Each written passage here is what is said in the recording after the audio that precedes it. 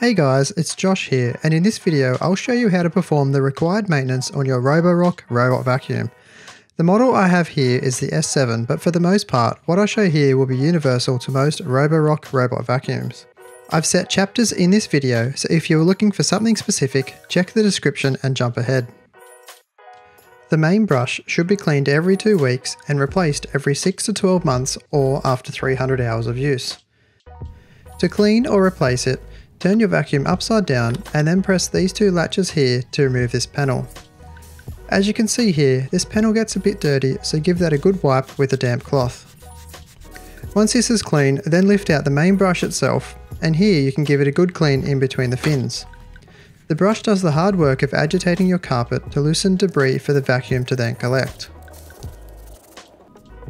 Once you have cleaned the rubber brush, find the grey round end caps. These are removed by twisting them a little and they will come off. That lets you remove anything that might be tangled around the axle of the brush. Flip the brush over and remove the other end cap and bearing and clean that side too.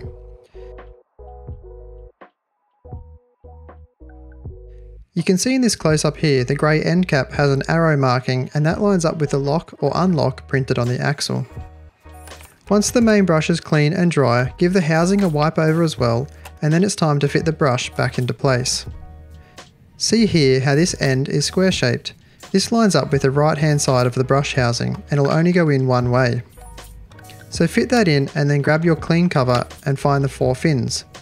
They go to the top of the robot Slot them into place and then gently latch the cover back into place.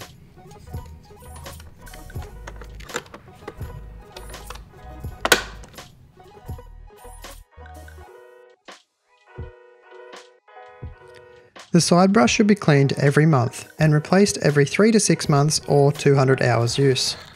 To clean this, use a Phillips head screwdriver and while holding the brush from spinning, unscrew the single screw holding it into place. Remove any tangles and clear any dust away and then fit it back into place.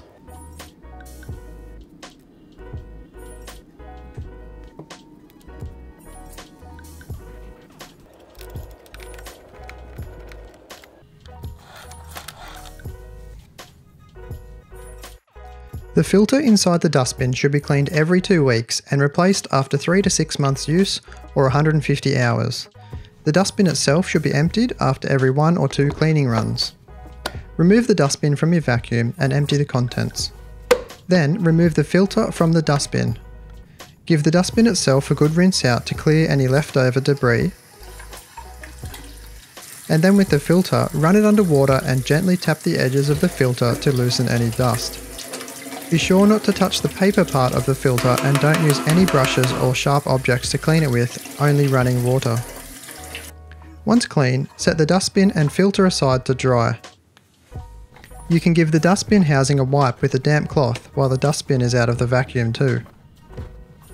Once you are sure the dustbin and filter are dry, you can then install the filter back into the dustbin and then the dustbin back into your vacuum.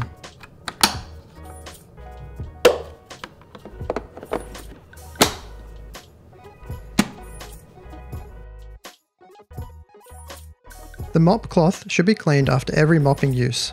Remove the mop mount from your vacuum by pressing the two tabs either side of it and sliding it backwards. Remove the pad from the mop mount velcro. I try and keep the vibrating part here steady when I remove the pad.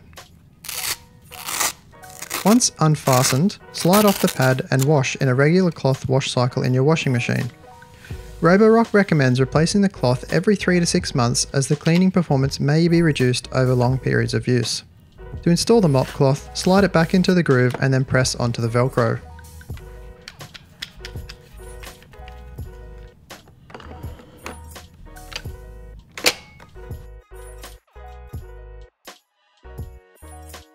Once a month, it's a good idea to clean out the water tank.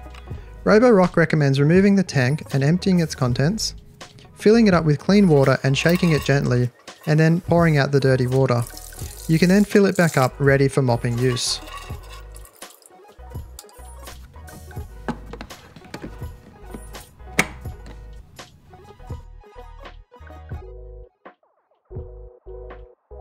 This is an easy one. Flip the robot over and use a soft cloth to wipe and clean the main wheels once a month.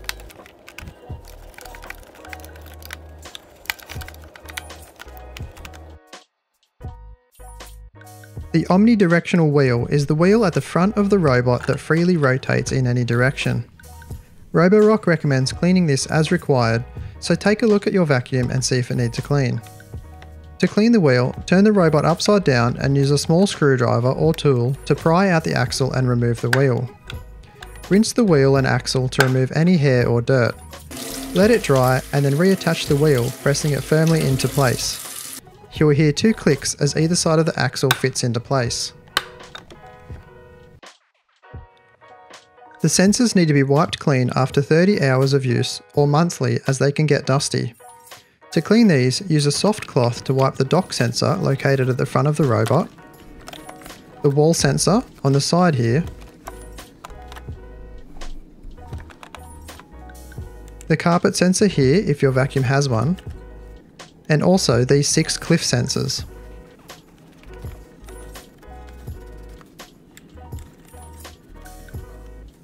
Also give the charging contacts a wipe, and then on the dock, wipe the corresponding contacts too.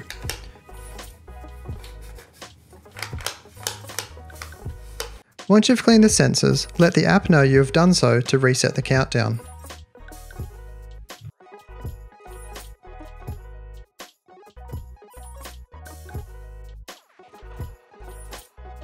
That just about covers the maintenance that's required as per the Roborock manual.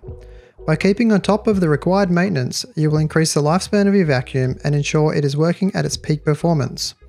If you need to know anything further, leave a comment below and I can try and help you out, and thanks for watching.